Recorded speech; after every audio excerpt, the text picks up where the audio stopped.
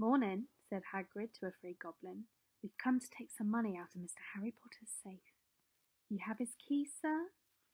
Got it here somewhere, said Hagrid, and he started emptying his pockets onto the counter, scattering a handful of mouldy dog biscuits over the goblin's book of numbers. The goblin wrinkled his nose. Harry watched the goblin on their right, weighing a pile of rubies as big as glowing coals. Got it, said Hagrid at last, holding up a tiny golden key. The goblin looked at it closely. That seems to be an order. And I've also got a letter here from Professor Dumbledore, said Hagrid importantly, throwing out his chest. It's about you know what in Vault 713. The goblin read the letter carefully. Very well, he said, handing it back to Hagrid. I'll have someone take you down to the vaults. Grip hook? Griphook? Griphook was yet another goblin. Once Hagrid had crammed all the dog biscuits back inside his pockets, he and Harry followed Griphook towards one of the doors leading off the hall. What's the you know what in Vault 713? Harry asked. Can't tell you that, said Harry Hagrid mysteriously. Very secret, Hogwarts business. Dumbledore's trusted me. More than my job's worth, tell you that. Griphook held the door open for them. Harry, who had expected more marble, was surprised. They were in a narrow stone passageway lit with flaming torches. It sloped steeply downwards, and there was a little railway track on the floor. Griphook whistled, and a small cart came hurtling up the tracks towards them. They climbed in, Hagrid with some difficulty, and were off. At first they just hurtled for a maze of twisting passages. Harry tried to remember. Left, right, right, left, middle fork, right, left, but it was impossible. The rattling cart seemed to know its own way because Griphook wasn't steering. Harry's eyes stung as the cold air rushed past them, but he kept them wide open. Once he thought he saw a burst of fire at the end of a passage and twisted around to see if it was a dragon, but too late they plunged even deeper, passing an underground lake where huge stalactites and stalagmites grew from the ceiling and floor. I never know, Harry called to Hagrid over the noise of the cart. What's the difference between a stalagmite and a stalactite? Stalagmite's got an M in it, said Hagrid, and don't ask me questions just now. I think I'm going to be sick. He did look very green, and when the cart stopped at last beside a small door in the passage wall, Hagrid got out and had leaned against the wall to stop his knees trembling. Griphook unlocked the door. A lot of green smoke came blowing out, and it and as it cleared, Harry gasped. Inside were mounds of gold coins, columns of silver, heaps of little bronze nuts. All yours, smiled Hagrid. All Harry's. It was incredible. The Dursleys couldn't have known about this, or they'd have had it from him faster than blinking. How often had they complained about how much Harry cost them to keep? And all the time there had been a small fortune belonging to him buried deep under London. Hagrid helped Harry pile some of it into a bag. The gold ones are galleons, he explained, Seventeen silver sickles to a galleon and twenty-nine nuts to a sickle. It's easy enough. Right, that should be enough for a couple of terms. We'll keep the rest safe, yeah? He turned to Griphook. Vault 713 now, please. And can we go more slowly? One speed only, said Griphook. They were going even deeper now, gathering speed. The air became colder and colder as they hurtled round tight corners. They went rattling over an underground ravine and Harry leant over the side to try and see what was down at the dark bottom, but Hagrid groaned and pulled him back by the scruff of his neck. Vault 713 had no keyhole. Stand back, said Griphook importantly. He stroked the door gently with one of his long fingers and it simply melted away. If anyone but a Gringotts goblin tried that, they'd be sucked through the door and trapped in there, said Griphook. How often do you check to see if anyone's inside? Harry asked. About once every ten years, said Griphook, with a rather nasty grin. Someone really extraordinary had to be inside this top secret vault. Harry was sure, and he leant forward eagerly, expecting to see fabulous jewels at the very least. But at first he thought it was empty. Then he noticed a grubby little package wrapped in brown paper lying on the floor. Hagrid picked it up and tucked it deep inside his coat. Harry longed to know what it was, but he knew better than to ask. Come back. Come on, back in this infernal cart, and don't talk to me on the way back. It's best if I can keep mouth shut, said Hagrid.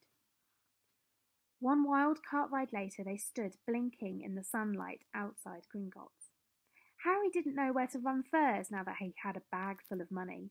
He didn't know to he didn't have to know how many galleons there were to the pound to know that he was holding more money than he'd had in his whole life, more money than even Dudley had ever had. Might as well get a uniform, said Hagrid, nodding toward Madame Malkin's robes for all occasions. Listen, Harry, would you? Mind if I slip out for a pick-me-up in the leaky cauldron? I ate them Gringotts carts. He did still look a bit sick, so Harry entered Madame Malkin's shop alone, feeling nervous. Madame Malkin was a squat, smiling witch, dressed in all mauve. Hogwarts, dear, she said, when Harry started to speak. Got the lot here, another young man being fitted up, just now, in fact. In the back of the shop, a boy with a pale, pointed face was standing on a footstool, while a second witch pinned up his long black robes. Madame Malkin stood Harry on a stool next to him, slipped a long robe over his head, and began to pin it to the right length. Hello, said the boy. Hogwarts too? Yes, said Harry. My father's next door buying my books, and my mother's up the street looking at wands, said the boy. He had a bored, drawling voice. Then I'm going to drag them off and to look at racing brooms. I don't see why first years can't have their own. I think I'll bully father into getting one, and I'll smuggle it in somehow. Harry was strongly reminded of Dudley. Have you got your own broom? the boy went on. No, said Harry. Play Quidditch at all? No, Harry said, wondering what on earth Quidditch could be. I do. Father says it's a crime if I'm not picked to pay for my house, and I must say I agree. Know what house you'll be in yet? No, said Harry, feeling more stupid by the minute. Well, no one really knows until they get there, do they? But I know I'll be in Slytherin. All our family have been. Imagine being in Huffle- Hufflepuff. I think I'd leave, wouldn't you? Hmm, said Harry, wishing he could say something a bit more interesting. I say, look at that man, said the boy suddenly, nodding towards the front window. Hagrid was standing there grinning at Harry and pointing at two large ice creams to show he couldn't come in. That's Hagrid, said Harry, pleased to know something the boy didn't. He works at Hogwarts. Oh, said the boy, I've heard of him. He's a sort of servant, isn't he? He's the gamekeeper, said Harry.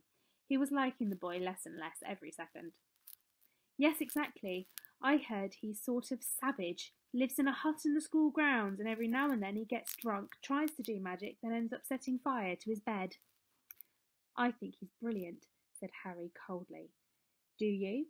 said the boy with a slight sneer. Why is he with you? Where are your parents? They're dead, said Harry shortly. He didn't feel much like going into the matter with this boy. Oh, sorry, said the other, not sounding sorry at all But they were our kind, weren't they? They were a witch and the wizard, if that's what you mean. I don't really think they should let the other sort in, do you? They're just not the same. They've never been brought up to know our ways.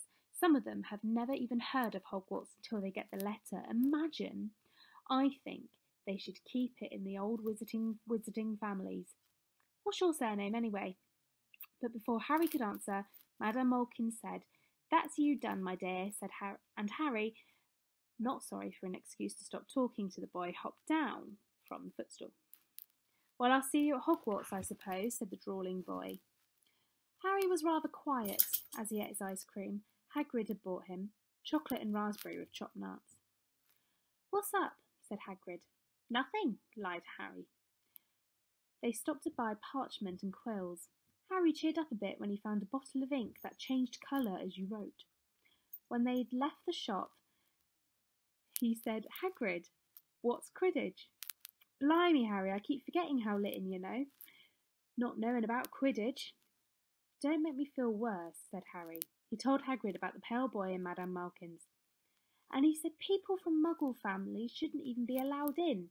You're not from a Muggle family. If he'd known who you were, he'd grown up knowing your name if his parents are Wizarding folk. You saw him in the leaky cauldron. Anyway, what does he know about it? Some of the best I ever saw were only the ones with magic in them and a long line of muddle, muggles. Look at your mum. Look what she had for a sister. So what is Quidditch? It's our sport, wizard sport. It's like like football in the muggle world. Everyone follows Quidditch. Played up in the air on broomsticks and there's four balls. Sort of hard to explain the rules. And what are Slytherin and Hufflepuff? Schoolhouses, there's four. Everyone says Hufflepuff are a lot like old duffers, but I bet I'm in Hufflepuff, said Harry gloomily. Better Hufflepuff than Slytherin, said Harry, and said Hagrid darkly. There's not a single witch or wizard who went bad who wasn't in Slytherin. You know who was one. Vol, sorry, you know who was at Hogwarts years and years ago, said Hagrid. They bought Harry school books in a shop called Flourish and Blotts, where the shelves were stacked to the ceiling with books as large as paving stones bound in leather, books the size of postage stamps in covers of silk, books full of peculiar symbols, and a few books with nothing in them at all. Even Dudley, who never read anything, would have been wild to get his hands on some of these.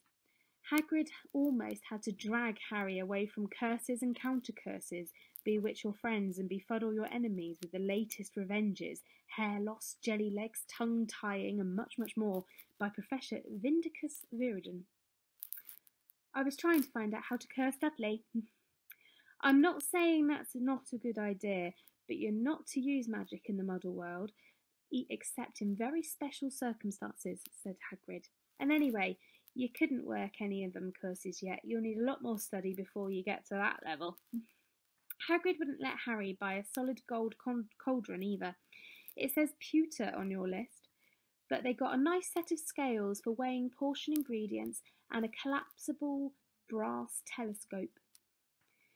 Then they visited the apothecaries, which was fascinating enough to make up for its horrible smell, a mixture of bad eggs and rotted cabbages.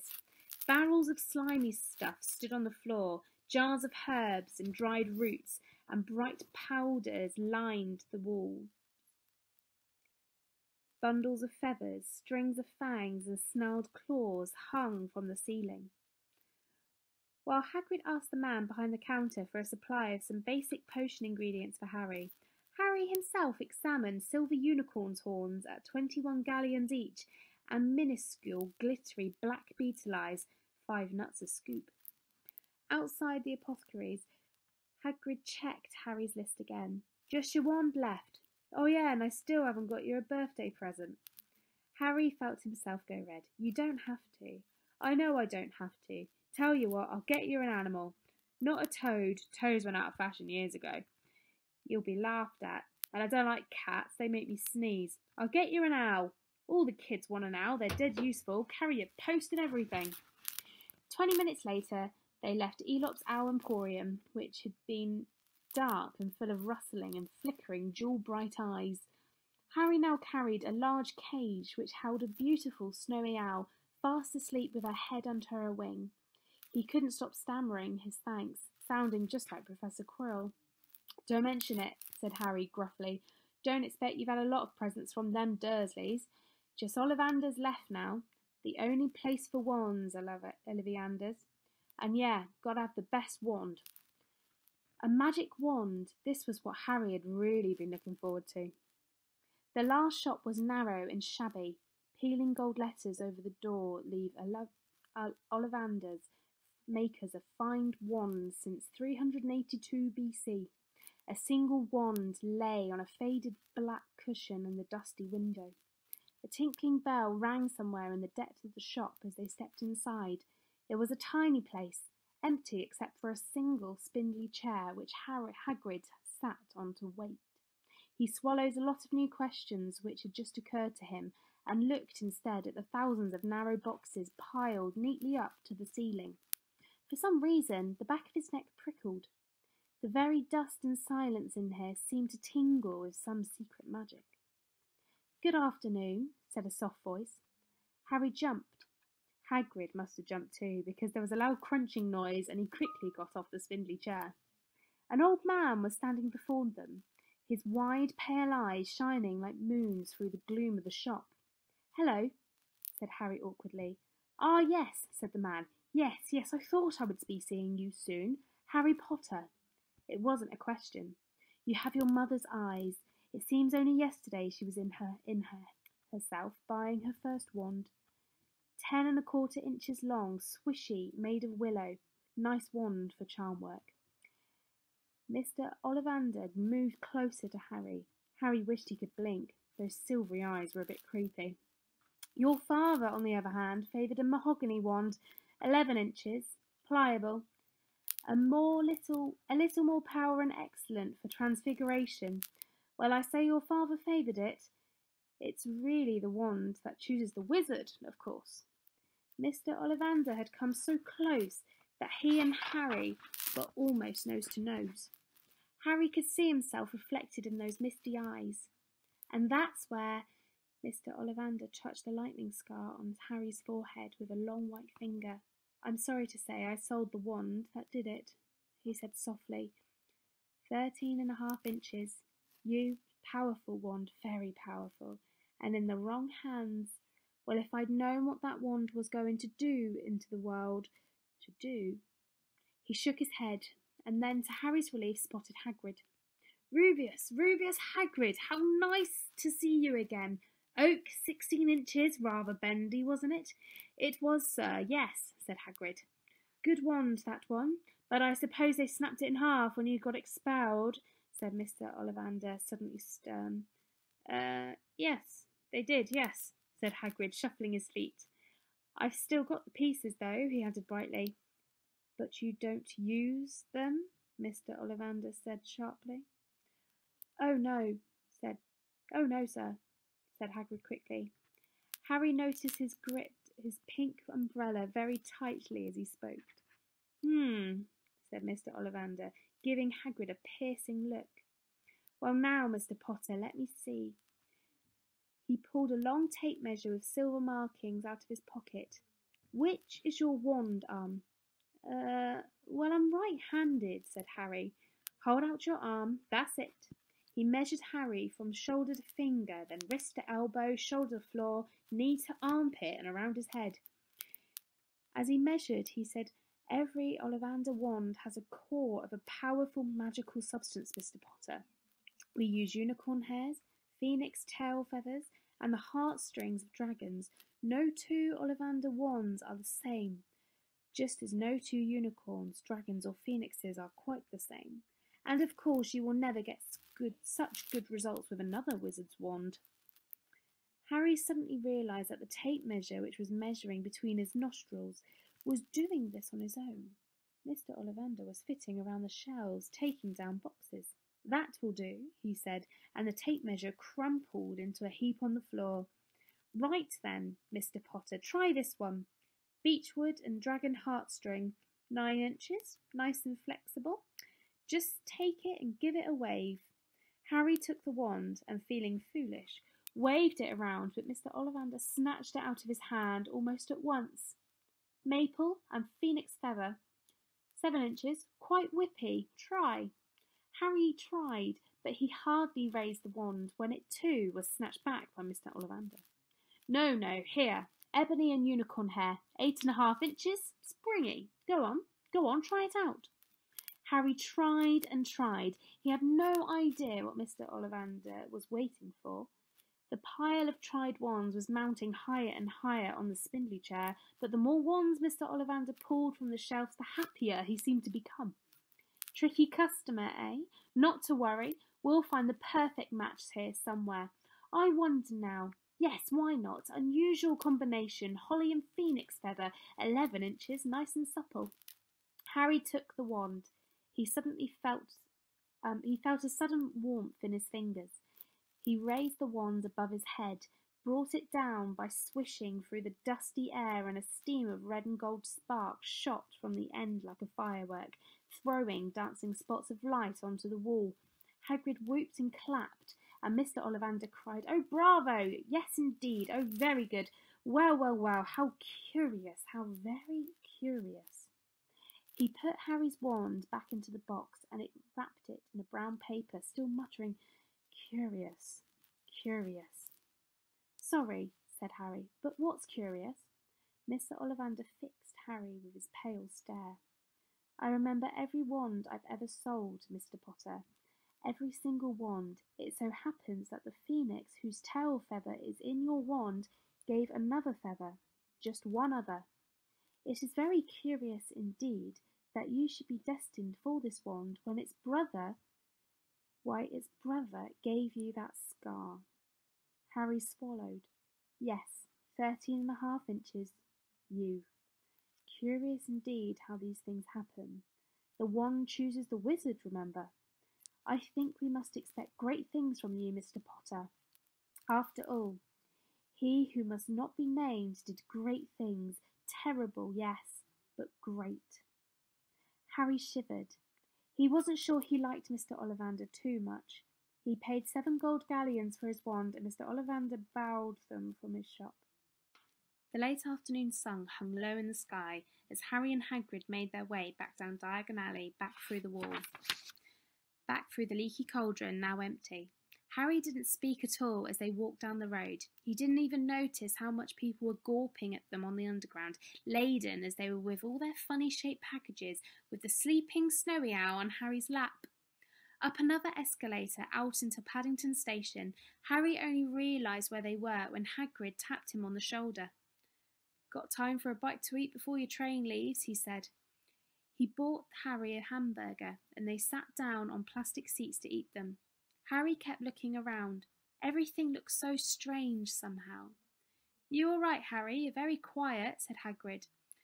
Harry wasn't sure he could explain.